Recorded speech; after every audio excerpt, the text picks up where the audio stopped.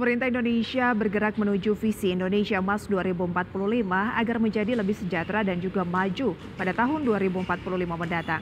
Dan pertumbuhan ekonomi Indonesia yang tetap positif memberikan gambaran cerah bagi masa depan Indonesia.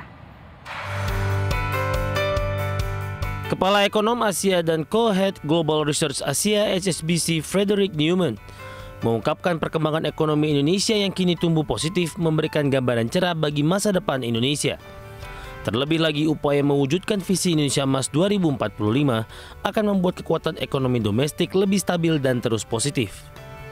Menurut Frederick Newman, keterkaitan berbagai faktor termasuk penanaman modal asing atau PMA berkelanjutan, peningkatan daya saing upah yang mendorong investasi China di ASEAN, populasi usia kerja yang kuat dan populasi masyarakat yang semakin makmur menciptakan landasan kuat bagi pertumbuhan ekonomi Indonesia. Di sisi lain, penanaman modal asing akan terus mengalir ke Asia, di mana ASEAN menjadi titik fokus dan Indonesia sebagai target utama para investor agar bisa berekspansi di kawasan ini. And we here in Indonesia actually are very well placed to tap into a lot of the demand that's still coming from China. The energy transition, the higher commodity prices, the investment in electric vehicles.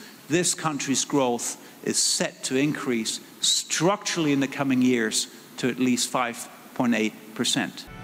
Newman juga menambahkan untuk mencapai ambisinya, Indonesia harus mempertahankan momentum pertumbuhan yang kuat dengan terus mendorong arus masuk PMI yang tinggi. Selain itu, Indonesia juga terus memanfaatkan kekuatan transformatif digital dan berkomitmen pada ekonomi berkelanjutan yang rendah karbon. Dari Jakarta, Tim Liputan Andex Channel.